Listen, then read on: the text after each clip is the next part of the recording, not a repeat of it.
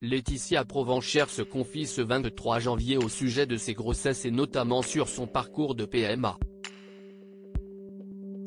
Celle qui a été révélée dans Famille Nombreuse, La vie en XXL explique comment elle a annoncé sa grossesse à Guillaume. CIST dans l'émission Famille Nombreuse, La vie en XXL que le public a découvert Laetitia Provenchère et ses quatre enfants. La jeune femme a su toucher les téléspectateurs à cause de leur terrible parcours. Alors qu'elle était en début de grossesse, elle a brutalement perdu son mari, décédé après un accident de travail. Veuve bien avant l'heure, elle fait tout pour honorer la mémoire de Guillaume, et admet qu'elle se culpabilise beaucoup du fait que ses triplés n'auront aucun souvenir avec leur père. Depuis peu, la mère de famille côtoie un nouvel homme. Une étape qu'elle s'est refusée de vivre pendant longtemps. Très transparente sur sa situation compliquée, la mère de famille s'est livrée dans le podcast Parentissage.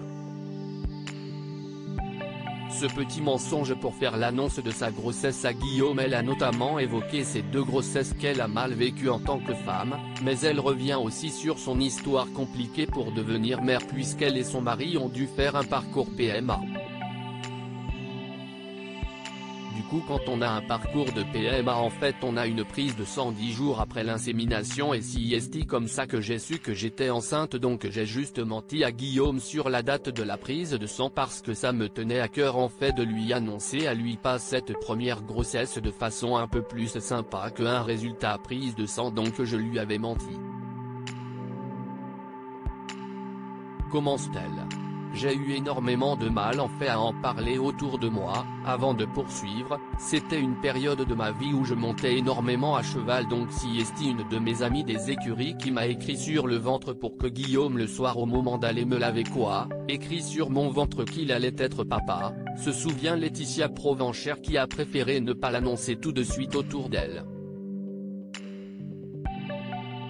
C'était ma première grossesse, c'était un parcours de PMA et j'ai eu énormément de mal en fait à en parler autour de moi, on en a parlé à mes parents à nos frères et sœurs mais j'ai plus de mal à en parler à mes amis parce que j'étais persuadé qu'il allait se passer quelque chose de dramatique parce que je me suis dit que, en parcours de PMA je devais vivre une fausse couche donc j'ai eu énormément de mal à en parler, mais je l'ai annoncé autour de mes 4-5 mois à mes proches, conclut-elle sur le sujet.